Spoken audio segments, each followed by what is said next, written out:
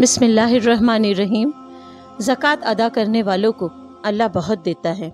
सूर्य बकरा, तीसरा पारा, आयत नंबर 261 जो लोग अल्लाह की राह में अपने माल खर्च करते हैं, इनकी मिसाल उस दाने की सी है, जिससे सात बालियाँ उगी। और फिर हर बाली में सौ दाने हों, यानी सात सौ गुना अजर पाते हैं। और अल्लाह जिसके लिए चाहता है, इससे भी ज़्यादा इजाफा फरमा देता है। और अल्लाह बड़ी वसत वाला खूब जानने वाला है। सूर्य रोम इक्कीसवा पारा आयत नंबर थर्टी नाइन।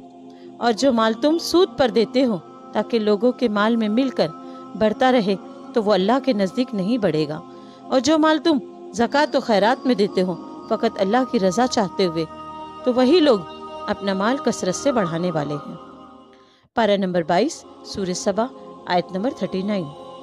फरमा दीजिए, बेशक मेरा रब अपने बंदों में से जिसके लिए चाहता है रिस्क कुशादा फरमा देता है। और जिसके लिए चाहता है, तंग कर देता है। और तुम अल्लाह की राह में जो कुछ भी खर्च करोगे तो वो इसके बदले में और देगा और वो सबसे बेहतर रिस्क देने वाला है। पारा नंबर सत्ताईस सूर्य हदीद, आयत नंबर एटीन। बेशक सदका खैरात देने वाले मर्द और सदका खैरात देने वाली औरतें और जिन्होंने अल्लाह को कर्ज हसना के तौर पर कर्ज दिया, उनके लिए कई गुना बढ़ा दिया जाएगा और उनके लिए बड़ी इज़्ज़त वाला सवाब होगा। अल्लाह सल्ली मोहम्मद व आले मोहम्मद।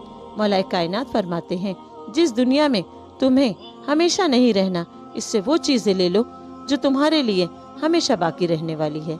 अल्लाह सल्ली मोहम्मद व आले मोहम्मद।